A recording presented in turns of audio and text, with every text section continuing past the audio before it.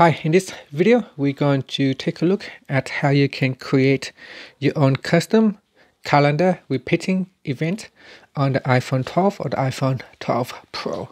So first, let's go back to the home screen by swiping up at the bottom of the screen. Next, on the home screen, tap on calendar. And in calendar, tap on the add button to start creating a new calendar event. Now in here you can give your calendar a title. Next, you can go down and choose if it's an older event or when it starts and when it will end. So we can set a start time. So let's say I choose on the 27th and I can set a start time at 9 a.m.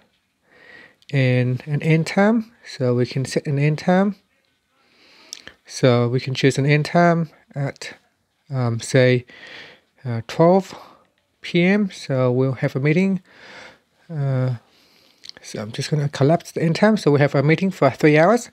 And the next part is the important part, the repeat button.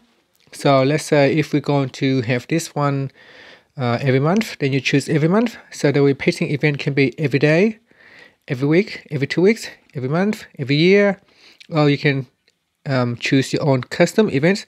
So in this video, I'm going to actually choose custom because we want to choose, we want to set our own custom events. So I'm going to choose the frequency. So frequency is um, allowing you to select, select daily, weekly, monthly, yearly.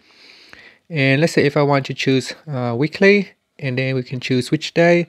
So weekly on every Thursday you can choose multiple days or just one day. So I'm going to select every uh, Thursday on a weekly basis. And then I tap back on the repeat section. So this is the custom. You choose um, the frequency and uh, how often. And then you tap on the back key and then tap on the back key. And then next you can also choose invitees. And you can also set the alert, second alert and show us busy or free. After that, you can tap on the add button. And that's it. So now we have uh, created a uh, custom repeating event. So this is a custom repeating event and it will uh, repeat um, every week uh, on Thursday. So if you can see if I go to the next uh, calendar, next month.